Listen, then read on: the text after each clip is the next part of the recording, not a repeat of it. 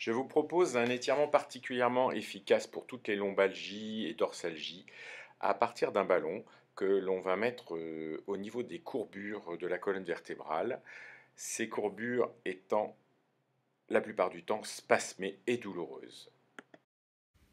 Et là, nous allons mettre le ballon au niveau des lombaires. De cette manière. Et ainsi, lorsque les patients ont des grosses tensions et des verrouillages complets au niveau des lombaires, eh bien en fait le ballon va s'écraser avec le poids du patient. Il va s'écraser, mais laisser une forme pour ouvrir, pour ouvrir tous les espaces intervertébraux et relâcher tous les muscles qui sont derrière la colonne vertébrale. Et en respirant, en se relâchant, eh bien, vous allez pouvoir détendre complètement ces lombaires. Bien sûr, c'est au rythme de la respiration. Dans un premier temps, ça a tendance à tirer, à être un peu sensible, mais simplement par l'appui des muscles. Et au fur et à mesure de vos respirations et de la prise de conscience, eh bien, tout ça, ça va se relâcher. Et à ce moment-là, le dos va pouvoir se détendre dans un premier temps, jusqu'à ce que vous sentiez que ça ne tire quasiment plus. Ensuite, vous allez vous relever, enlever la balle. Vous enlevez la balle sous les lombaires et vous allez la mettre, comme vous pouvez le constater, au niveau de la pointe du sacrum et proche du coccyx. Et de cette manière-là, votre colonne vertébrale va pouvoir au contraire retourner dans un autre sens mais comme les muscles auront été détendus avec la manœuvre d'avant, ça va être beaucoup plus facile et vous allez étirer toute la chaîne postérieure du dos qui va se soulager avec une sensation immédiate de bien-être.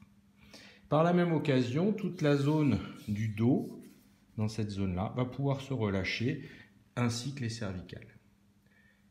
Il est possible de faire exactement la même chose avec les cervicales, à savoir de mettre dans un premier temps un ballon sous les cervicales ou une balle un peu plus petite que celle-ci, de respirer, de laisser relâcher les choses et ensuite une fois que tout est détendu, eh bien ce ballon, on va le mettre sous la tête au niveau de l'occiput et à ce moment-là, les cervicales vont pouvoir se relâcher à leur tour et se détendre. C'est un exercice que je vous propose de faire au moins une fois par jour. Ça peut durer 10 minutes, un quart d'heure. Et vraiment, au bout de 6-7 fois, vous sentirez vraiment une grosse différence dans tout votre corps.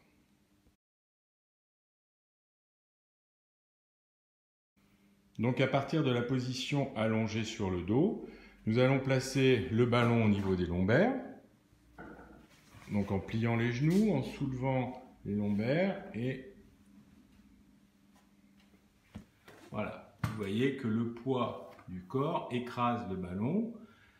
Et là, vous allez demander une respiration, hein, inspiration assez forte, expiration assez forte, en sachant qu'à l'inspiration, ça va avoir tendance à creuser un petit peu les lombaires, et à l'expiration, quand vous rentrez le ventre, ça va avoir tendance à appuyer sur le ballon et à créer un petit mouvement sur vos lombaires. Allez-y, vous alternez, inspiration, expiration forcée, vous appuyez, vous appuyez, vous appuyez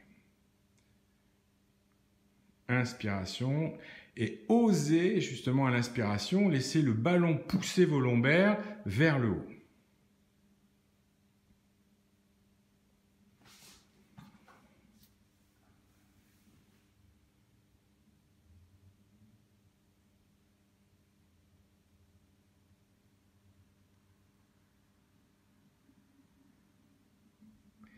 Quelques variantes peuvent être faites à savoir fléchissez les genoux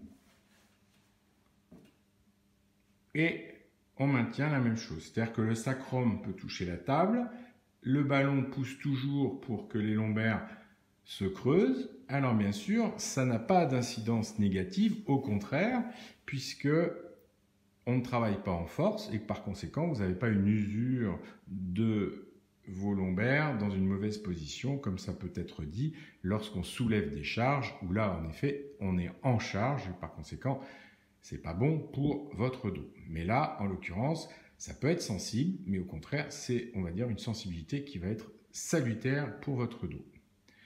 Voilà, je vais pas faire la vidéo plus longtemps dans le sens où euh, ça va rester la même chose, mais il faut rester 5-10 minutes comme ça.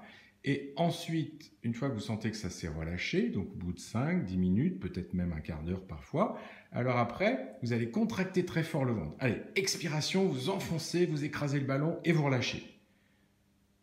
Encore une fois, on enfonce et on relâche. On enfonce et relâche. Au passage, vous pouvez constater que les cervicales ont déjà une réaction lorsque vous enfoncez. Ça a tendance à tirer sur les cervicales, un petit peu sur le dos et les épaules. C'est normal. Voilà. Et une fois qu'il n'y a plus de tension, que ça ne fait pas mal, à ce moment-là, vous allez soulever les fesses, prendre le ballon et le mettre au niveau de la pointe du sacrum et coccyx, donc plus en bas encore. Voilà. Et vous allez allonger les jambes. Voilà. Toujours écrasé par le ballon. Et même chose, vous respirez. À ce moment-là, la sensation, comme je l'avais montré sur le squelette tout à l'heure, est que ça étire la colonne vertébrale tout doucement et avec une sensation très agréable de confort au niveau vertébral. Voilà. Continuez à respirer, à respirer, à vider complètement vos poumons et relâcher. Inspiration par le nez, expiration par le nez. À l'inspiration, vous gonflez le ventre et la poitrine. À l'expiration, vous baissez les côtes, vous rentrez le ventre. Voilà. Et de la même manière, vous allez le faire 5 à 10 minutes. Et vous faites en fait une traction de tous les tissus de la colonne, des disques intervertébraux et des muscles paravertébraux. On ne va pas le faire aussi longtemps, vous avez compris le principe. Et donc maintenant, vers au bout de 5-10 minutes, vous allez plier les genoux à nouveau. Et plier les genoux sur la poitrine. Et là, ça, va créer une sorte d'instabilité et vous devez trouver votre équilibre. Donc les genoux sont fléchis, vous trouvez votre équilibre et de cette manière-là, sur l'inspiration, vous gonflez le ventre, la poitrine et sur l'expiration, vous descendez légèrement les genoux vers la droite, très légèrement et vous remontez. Inspirez. Expiration légèrement vers la gauche et remontez. Inspiration, expiration vers la droite. Et de cette manière, il n'est pas rare que vous sentiez que toute votre colonne se libère, parfois des petits craquements tout simples, et qui montrent que, en fait, vous avez réorganisé votre colonne lombo-sacrée et jusqu'à dorso-lombaire. Voilà, continuez tranquillement avec les genoux plutôt vers la poitrine et relâchez voilà. Et maintenant, vous pliez les genoux, les pieds par terre.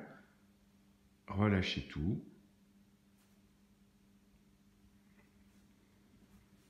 Sentez la différence par rapport à tout à l'heure. Et puis quand tout est détendu, vous allez passer sur le côté, enlever le ballon. Et percevoir les sensations de votre corps lorsqu'il s'appuie complètement sur le, la table ou sur le sol et la sensation que vraiment ça a détendu votre corps et que ce n'est plus qu'un plaisir de s'allonger. Voilà, c'était le truc de Jean-Michel Boudard, ostéopathe Paris 15e. À bientôt.